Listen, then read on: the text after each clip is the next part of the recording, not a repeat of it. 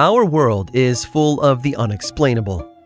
And if history is an open book, all of these amazing tales are right there on display, just waiting for us to explore. Welcome to the Cabinet of Curiosities.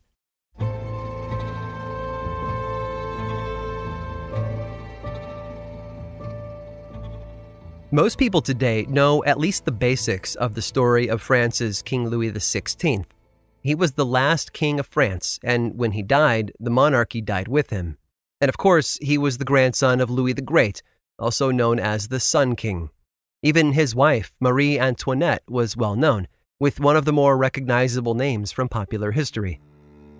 But what most people tend to skip over is his childhood. Unlike his grandfather, the Sun King, who ascended to the throne at the age of just four, Louis XVI didn't become king until he was nearly 20 which means he had a lot of time before that to experience life from his less lofty position. One moment in particular stands out. As a child, Louis was approached by an astrologer who asked if he could make a prediction. When Louis agreed, this astrologer warned the future king to be cautious of the 21st day of each month. This warning came with no further explanation, but despite that, it implanted itself firmly in the boy's mind. Later, after taking the throne in 1774, Louis organized his responsibilities as king around that childhood fear. He avoided doing any important business on the 21st of each month, assuming that if he never set the wheels in motion on those days, there would be nothing to return and harm him. Then again, what was coming down the pipeline was something no one could have predicted. When the American Revolution broke out in 1776, Benjamin Franklin approached Louis for help with defeating the British rule of the American colonies. King Louis agreed and sent much support to their cause. And in the end, it worked. The British were defeated and the French gained a new powerful ally. But it also showed the French citizens that a country could exist without a monarchy. In 1789, revolution broke out again, this time in France, Inspired in part by the Americans, the French overthrew their own king and set up a republic in its place, which meant that King Louis XVI had to go. But here's where it gets weird. King Louis did his best to fight off the revolution, but on June 20th of 1791, he and his family put on the clothing of servants and escaped into the night, while their servants remained behind dressed as nobles. The following day, they were captured and arrested. That would be June 21st, for anyone keeping track. A little over a year later, the new French government issued an official pronouncement that abolished the French monarchy forever. The date? September 21st, 1792. It would take another few months before Louis met his fate. It's the part most of us know the best. Louis was led out into the Place de la Coronade, where an enormous crowd had gathered to watch the execution. There, in front of the people he once ruled over, Louis gave a brief speech and was then executed by guillotine. The date? 1793. January 21st, of course. That old astronomer told Louis to avoid the 21sts of the month, and looking back, it seems like that was pretty solid advice. The trouble was, he couldn't control everything. No one, not even a king, can stop the march of time.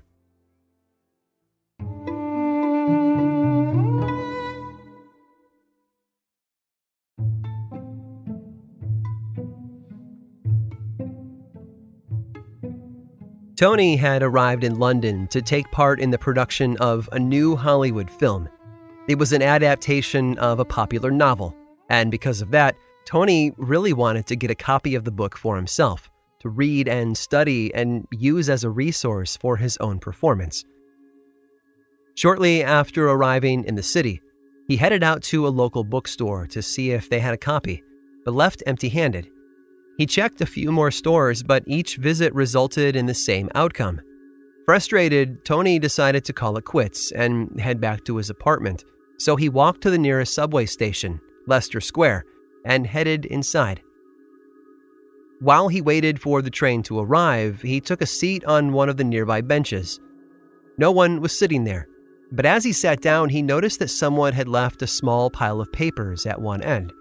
His curiosity drove him to pick up the pile and look through it, which is when he made a fantastic discovery. There, inside the papers, was a copy of the very same book that he'd been trying and failing all day to buy.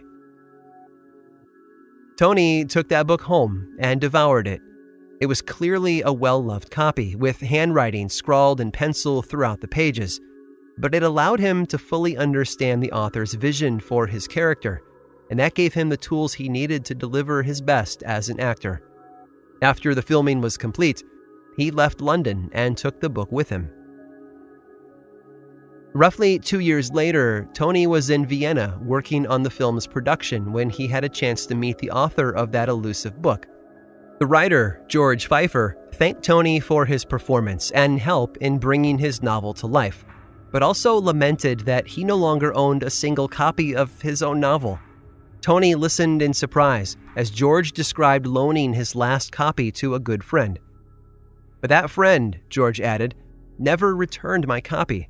In fact, she told me she lost it in the subway. Tony smiled and then reached into his bag and pulled out the copy of the book he still carried with him. The cover was still sharp, and the title of the book was printed across it The Girl from Petrovka.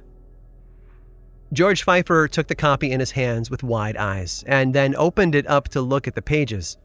There, scribbled in the margins, were his own personal notes. This is it, he exclaimed, smiling wide at Tony. Tony, understanding his place in this wild coincidence, gladly passed ownership of the book back to George. So that's how an author rediscovered his own missing novel. Lost by random circumstances, it had returned to him through the most unusual of events and handed over to him by one of Hollywood's most legendary leading men.